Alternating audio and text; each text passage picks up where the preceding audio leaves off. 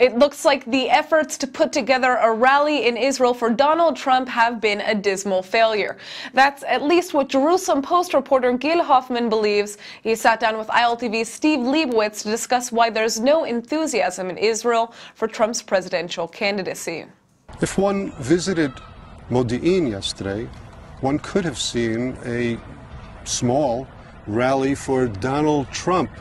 And there's also other groups around, I understand, that are working for the Hillary Clinton campaign right here in Israel. What's going on, Gil? Well, there are anywhere between 200 and 400,000 eligible voters in American elections living in Israel today. And uh, people look back to the election in 2000 that was decided by a few dozen votes in Florida. There are a lot more than a few dozen Floridians living in Israel, and they say, hey, uh, let's throw some money over here too. Uh, and you know what? It's ridiculous. We saw yesterday in Modi'in, I, I was there, almost no one came to what you just called our rally. That wasn't our rally, that was a photo op. Uh, there were a lot more reporters than there were potential voters there in, in Modi'in. There were a lot of balloons. The balloons outnumbered the voters as well. Um, and uh, it was just a, a, a, really pathetic attempt at throwing way, way, way too much money at such a small amount of people I wish the political parties that work in the Knesset, in the building in back of me right now, would make a third of the effort that the Democrats and the Republicans are making on us now.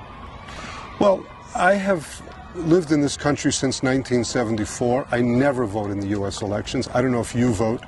How many of those two to 400,000 eligible voters do you think will actually vote eh, for the elections in a country that they don't live in? Look, they claim that close to 100,000 voted last time. But last time there was a real urgency among Israelis who almost unanimously saw Barack Obama as being a threat to Israel's future. Now they look at an American election and, and they might see a lot that they don't like about both candidates. But when they're talking about Israel, are both saying the right things. Whether they'd keep those promises, we could be skeptical about, but there's no real urgency for Israelis to vote, and, and that's why this I Vote Israel campaign that started four years ago and still exists now, um, it's nice that it facilitates the voting of Americans who, who want to vote, uh, but uh, you're not going to see huge numbers. So you, you expect that it will be a lot less influential in the election than it was last time? I mean, does it matter anyway? I mean, these are what, write-in votes? Uh, no, they, they, are votes that theoretically count in, in uh, the states uh, that the people come from. Uh, and there are three or four states in America who are, are, seen as the states that decide elections.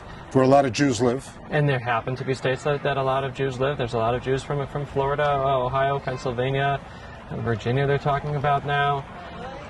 They theoretically could make a difference, but I don't think they will. So as we look down the road, would you say that there will be an increase in this campaign as we head towards November? Will it rise to a fevered pitch? or will it basically be something that some people, Americans like those that support that, I guess, that celebrate the 4th of July? Hey, a lot of people celebrate the 4th of July. Fireworks and, and hamburgers, you never need too many excuses for that. Uh, but to go and really make an effort to put Hillary Clinton or, or Donald Trump in your in mail that in Israel barely exists nowadays, that the mail system is as pathetic as it's ever been, I don't see you're going to see them voting in droves. I'll put it that way. Are you going to vote, Gil? You don't have to say, but uh, you can, because the next question, if you say yes, is who are you going to vote for? But four years ago, I was in Chicago. I covered Barack Obama's victory party for the Jerusalem Post.